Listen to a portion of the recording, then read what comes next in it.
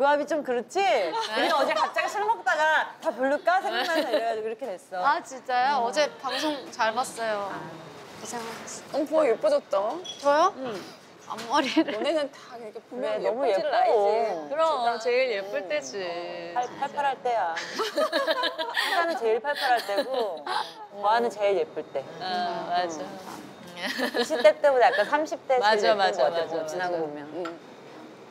제가 이제 뒤에 일정이 아, 너 가야 돼? 만나자마자 가면 어떡해. 그러니까. 이제 또 김부각 들고 또 오겠습니다. 어제, 어제 너무 갑자기 전화해가지고, 미리 전화했으면, 그래도 잠깐이라도 온다고.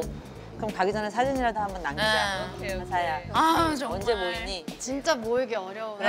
어떻게 뷰티앱으로 찍어야 되나? 뷰티앱으로 찍어야 되나? 아, 근데 아, 기본이. 제일 그래도 그래? 가야 되겠다. 단지예요. 야, 넌 젊으니까 기본이 좋지. 그럼 너 늙어봐라.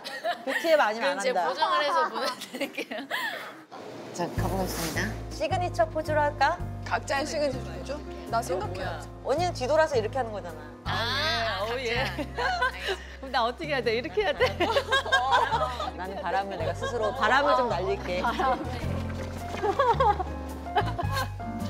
어? 어머, 어머, 늦었어, 늦었어. 진짜 안 돼.